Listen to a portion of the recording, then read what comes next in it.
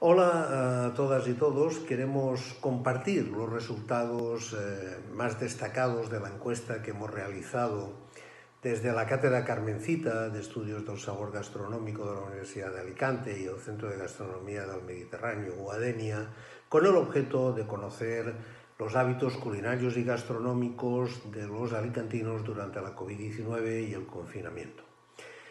Ha aumentado el interés de los alicantinos por la cocina tradicional y se ha detectado mmm, que, dedican, que han dedicado más tiempo a cocinar, sobre todo en la preparación de los postres. De hecho, más del 60% de los entrevistados eh, se atrevió a cocinar platos que no había preparado con anterioridad. Un tercio lo hizo con, eh, con platos tradicionales valencianos de cuchara, con los arroces y con postres como las monas de Pascua y las torrijas.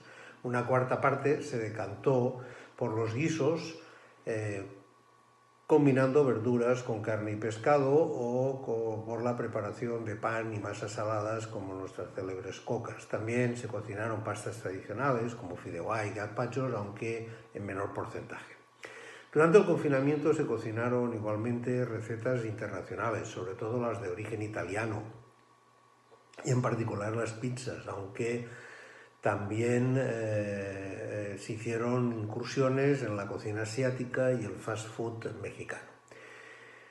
Queremos destacar que se compartió más la mesa, que disminuyó el porcentaje de los que comían solo o lo hacían haciendo otras cosas a la vez, y por último, queremos indicar que se ha detectado un cambio de percepción, una mejor valoración del trabajo de los productores, la compra en mercados y comercios de proximidad, así como la importancia de una alimentación equilibrada y la necesidad de cuidar al medio ambiente y consumir productos ecológicos. Muchas gracias.